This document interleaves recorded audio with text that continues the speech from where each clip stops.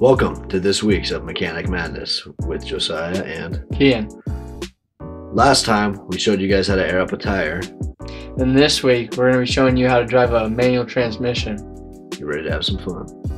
Sadly, this week we will uh, be missing Jacob due to basic training. Wish him luck and keep him in your prayers. But yeah, we don't have him this week, so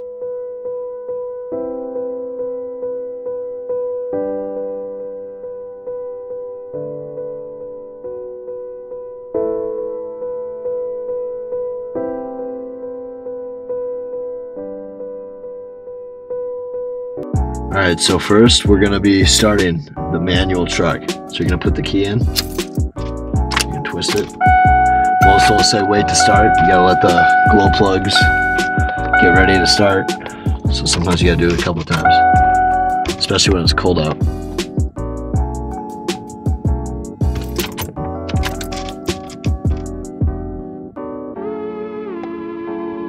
All right, so since it's in first gear, you gotta push the clutch in because if you don't, it's gonna I do a wheelie or something.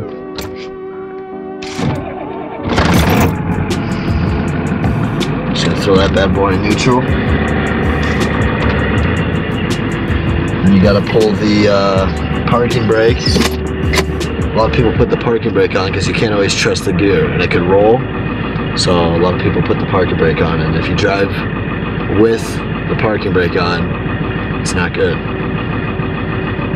We're just gonna let it warm up for a little bit. All right, so going over the pedals. This is your gas. This is your brake, just like a normal car. And this bad boy is the clutch. So when you push that in, it basically acts as like neutral. This is the parking brake. So when you push that in, it's a brake.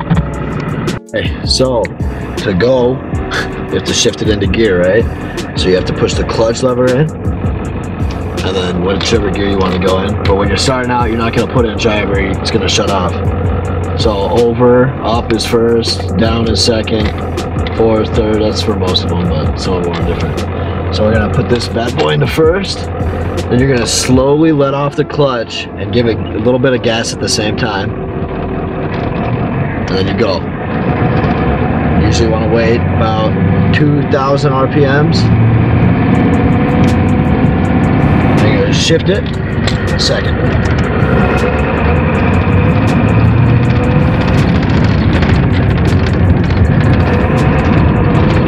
You just kind of go with the flow from there. It's a lot easier once you get started.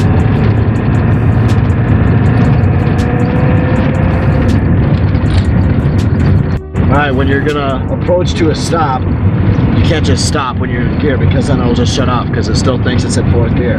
Whereas an automatic, it's just automatic, so it just does it for you. But when you're with a manual, you gotta push the clutch in, put it into neutral because then it's in no gear, and you can just kind of glide and just stop like normal.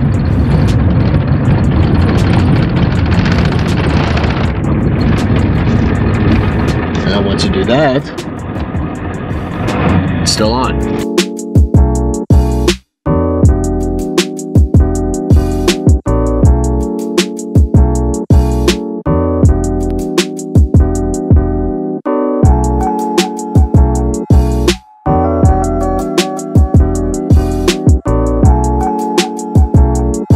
Depending on how your uh, vehicle you're driving is geared, if if you need to slow down for something, you have to put it in neutral, and then you just go again because it's like a I don't know like cautious. If you're being cautious when you might need to stop, and you're just kind of coasting, you have to figure out how your vehicle is geared because then you got to put it back into gear to go. But if you're still going and you put it into first gear, it's gonna bust. Not good. So like right now, you could probably put it into. I'm gonna put it in a second. Then you're good. Sometimes you just gotta mess with what you think is good because if you if you're going like kind of fast and it won't you won't get into second, then you just go up to third and if it goes in, and there you go. It's not a big deal if you mess up because you can just go into the next gear up. What you don't want to do is put it into reverse. I'm not going to show you what happens there because you can look up videos, but do not put it into reverse when you're going forward. Thanks for joining me and Yost this time on Mechanic Madness. And uh, if you have any questions about what we just talked about, you know where to find us.